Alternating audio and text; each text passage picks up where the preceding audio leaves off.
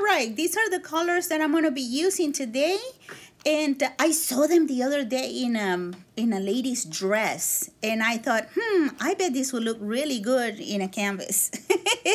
so I'm gonna start with the white and a little bit of magenta because I'm gonna use this as a background. So I'm gonna have like a marble background, and um, there we go. I am going to start over there and then I'm just going to spread it all over the canvas.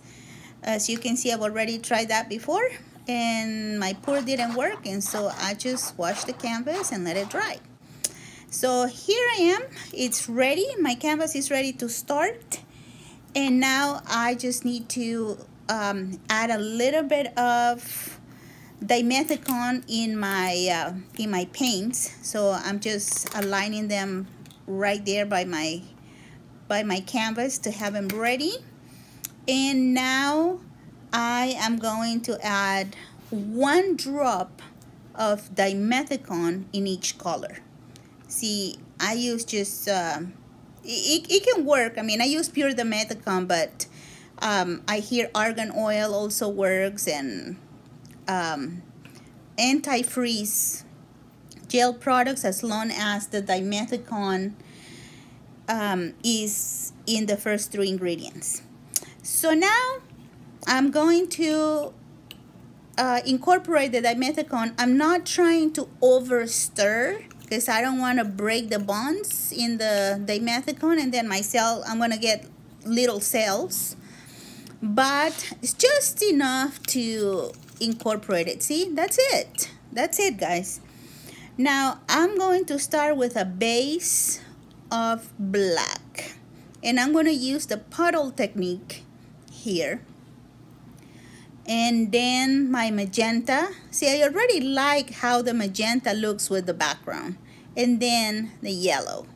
Now, I'm going to use the hammer and uh, since my plastic didn't work in my hammer, so I'm just going to use the hammer by itself. There you go. I already like how the dimethicone is reacting. See, one thing that we need to keep in mind when we do this technique is we use the hammer gently. It's not uh, an anger management coping technique by any stretch of the imagination. so see, as you can see, just gently. And especially in the edge, in the corners where it's close to the wood, the frame of the canvas, man, I'm telling you, if we overdo it, we're to have paint splashed all over and a big black, a, a big white hole in the middle of our canvas. But nevertheless, I just wanted to show you uh, the technique here and I'm going to do the rest of canvas. I'm sorry, off camera. Now I'm just using my palette knife to um, create the illusion of stems and I'm going to tie my flowers at this point. I don't know if that's how they're gonna dry, but that's how they look like to me right now. It's just a bunch of flowers going from left to right.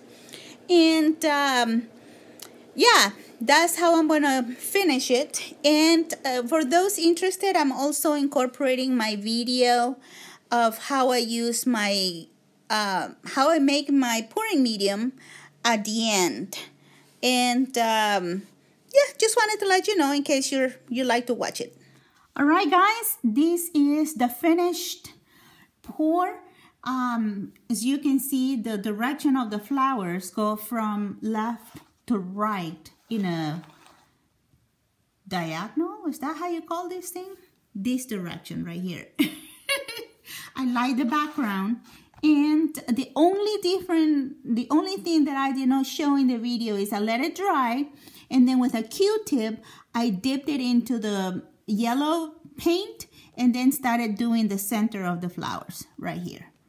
That's it. And now they do look like flowers. So I also wanted to show you another painting that I have using the same technique. See, these look like pansies. And so I really, really like this one. I just did a swipe as a background instead of this.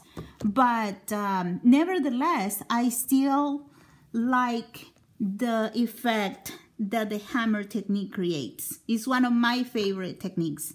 So thank you so much. I am um, attaching the video right next to this um, dry paint for those who uh, like to see how I prepare my, my medium. And uh, until next time.